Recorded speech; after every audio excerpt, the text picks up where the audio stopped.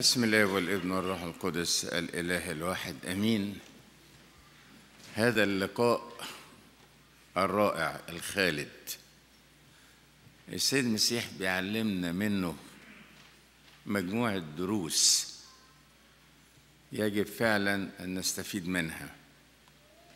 الدرس الأول هو معاملة السيد المسيح للخاطي مهما كانت خطاياه ومهما كانت ضعفاته بطرس له مواقف كتيرة جدا جدا مشرفة وعظيمة جدا. السيد المسيح لما التقى مع بطرس في أول مرة فقال له من الآن تصير تصطاد إيه؟ الناس. قال له خلاص أنت دلوقتي بدل ما تصيد السمك عايزك تعمل إيه؟ تصيد الناس. بعد كده السيد المسيح وهو قاعد مع التلاميذ سألهم قال لهم الناس بتقول عليا إيه؟ من يقول الناس أني أنا ابن الإنسان؟ خدوا بالكم من التتابع بتاع الموضوع. الناس سألوا السيد المسيح بيقول لهم الناس بتقول عليا إيه؟ شايفيني في شكل البشر. جسد لا جسد ودم ولحم. بتقول عليا إيه؟ من يقول الناس أني أنا ابن الإنسان. فابتدوا يقولوا له إن في ناس بتقول عليك إنك أنت إيليا وفي ناس بتقول عليك إنك أنت أرميا وفي ناس بتقول عليك إنك أنت يوحنا المعمدان. وانت ناس بتقول عليك إنك نبي من الأنبياء قال لهم وأنتم من تقولون؟ قال لهم إيه؟ بطرس باندفاعته المشهورة قال له إيه؟ أنت هو المسيح ابن الله الحي. سيد المسيح طوبه. وقال له طباك يا سمعان ابن ونا لأن لحما ودما لم يعلن لك لكن أبي الذي في السماوات. خدوا بالكم إزاي؟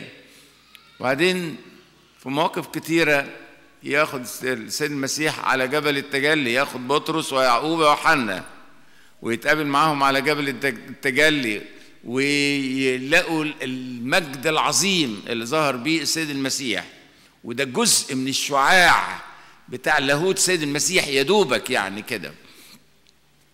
بطرس انبهر وقال له جيد يا رب أن نكون هنا فلنصنع ثلاث مظال لك واحدة ولموسى واحدة ولإيليا واحدة وبعدين لما السيد المسيح ابتدى يكلمهم على الصلب والموت قال له لا حاشاك يا رب أن تفعل هذا.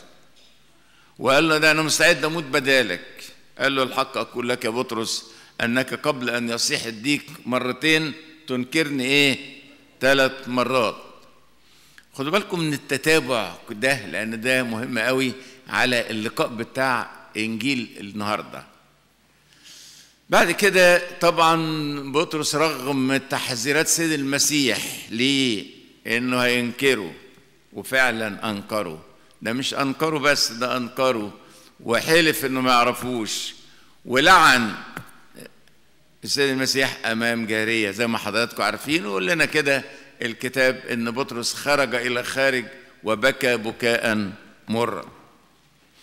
السيد المسيح بطرس كان ليه بقى الشرف إنه من أوائل ال ال التلاميذ اللي يقابل السيد المسيح بعد القيامة. وتعرف عليه وكانت بركة كبيرة جدا ليه. بالكم إزاي؟ وبعدين ظهر مرتين في العلية مرة الأولى كان معاهم مش معاهم تومة وتاني مرة معاهم تومة. يعني كانت أدلة واضحة وقوية جدا إيه بقيامة سيد المسيح. لكن بعد كده بطرس قعد مع التلاميذ كده اللي السيد المسيح قال له إيه من الآن تصير تصطاد إيه؟ الناس. قال لهم بقول لكم إيه المورد اتفض والحكاية خلصت. والسيد المسيح قعد معانا الفترة اللي قعدت ثلاث سنين وتلت دول وبعد كده خلاص يعني هو يعني مات وقام الموت وخلص الموضوع على كده. ما تيجي نروح نصطاد سمك. الله ده السيد المسيح قال لك كده من الآن تصير إيه؟ تصطاد إيه؟ الناس. راح خد ستة من التلاميذ وطلعوا على بحر طبرية وطلعوا يصطادوا إيه؟ يصطادوا سمك ويرجعوا لكل القديم وينسوا كل اللي حصل قبل كده. طبعا السيد المسيح يعني لما يلاقي موقف زي ده يعمل إيه؟ يمسك الواحد بقى يهزقه كده ويأنبه ويبكته زي إحنا ما بنعمل كده مع أي حد مع أولادنا ومع الناس ونلاقي واحد خاطي نكلمه كلام صعب. لا لا لا. المسيح كان ليه أسلوب تاني مختلف مختلف مختلف. يعلمنا قد إيه؟ يقول لك إيه؟ لم آتي لأدعو أبرار بل خطاه إلى التوبة. لم آتي لأدعو أبرار بل خطاه لأنه لا يحتاج الأصحاء إلا طبيب بل المرضى. تعالوا شوفوا العلاج الجميل. السيد المسيح يتقابل مع التلاميذ على بحر طبرية مش عارفين إن هو ده المسيح. ابتدي يعني يقول لهم يعني ارموا الشباك وبتاع جابت سمك. وطبعا الموضوع كبير قوي لكن أنا بختصر بشدة يعني. 153 سمكة المشهورين وعدوهم. وبعد كده قال لهم بقى هناكل ولا إيه؟ عندكم إدامة عندكم غموز هناكل. فابتدوا يحطوا له ياكل. وبعد بيقول لك بعد ما تغدوا وبعد ما كلوا قعد كل وياهم واتبسطوا. ابتدى بقى يكلم بقى إيه؟ بطرس بأسلوب بقى كده إيه؟ يعني فيه حب كبير وفي نفس الوقت فيه عتاب جميل. هو قال له أنت كده أنت بطرس وعلى هذه الصخرة قبل كنيستي يعني خلاص بدل ما كان. كان اسمه سمعان السيد المسيح سماه إيه؟ سماه بطرس لكن في اليوم ده لما إيه؟ قعد مع السيد المسيح قال له يا سمعان ابن يونا قال ما دام أنت رجعت بقى لصيد السمك هقول لك باسمك القديم بقى يا سمعان ابن يونا تحبني أكثر من هؤلاء؟ أنت عملت عملت هيصة كبيرة وعمال تقول أنت هو المسيح ابن الله الحي وقلت مستعد أموت بدالك وكنت والنهاردة رجعت لصيد السمك ورجعت لأصلك مرة تاني. يا سمعان ابن يونا اسمك القديم اتحبني أكثر من هؤلاء؟ قال له نعم يا رب أنت تعلم أني أحبك. ابتدى يعيدها مرة تاني. قال له يا سمعان ابن يونا اتحبني أكثر من هؤلاء؟ قال له نعم يا رب أنت تعلم أني أحبك. قال له مرة ثالثة يا سمعان ابن يونا تحبني أكثر من هؤلاء؟ يقول لك حزن بطرس لأنه قال له ثالثة أتحبني أكثر من هؤلاء. كان رد بطرس المرة دي بقى شديد شوية. نعم يا رب أنت تعلم أني أحبك. نعم يا رب أنت تعلم أني أحبك. لما بقى يعني حب يرجعه مرة تانية بقى قال له ارعى خرافي. وابتدى بقى يتكلموا طبعا يقول لك أشياء كثيرة صنعها يسوع وحكاوي كتيرة وكلام كتير لم يذكر كله في الكتاب طبعا. لكن أنا عايز أقول لكم قد إيه السيد المسيح بيعامل الإنسان الخاطي إحنا وإحنا على يعني أعتاب عام جديد. يعني خلاص إحنا فاضل لنا أربع أيام ولا خمس أيام والسنة القبطية تخلص ونبتدي السنة القبطية الجديدة. لو السيد المسيح النهاردة جاء بيسألني وبيسأل كل واحد فينا ويقول لي أتحبني أكثر من هؤلاء أقول له إيه؟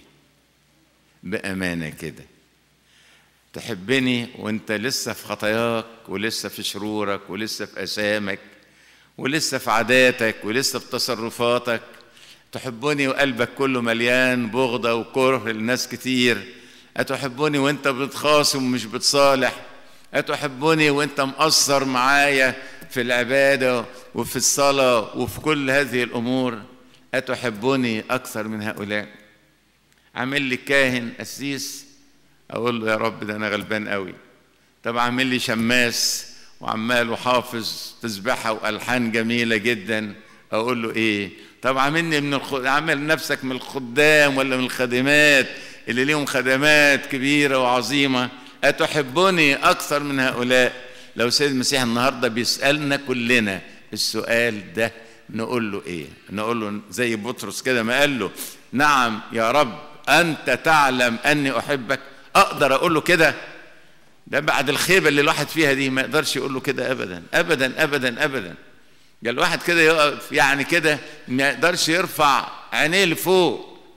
زي العشار اللي وقف في الآخر كده لم ير لم ي... لم يستطع أن يرفع نظره إلى فوق وقرأ على صدره وقال إيه؟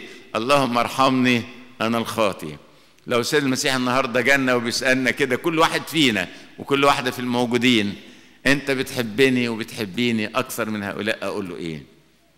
واحد من الاباء اباء البرية قال كلمة حلوة قوي قال أنا ما أقدرش أقول للسيد المسيح لو سألني السؤال ده نعم يا رب أنت تعلم أني أحبك. لكن قال أنا هحورها بطريقة تانية.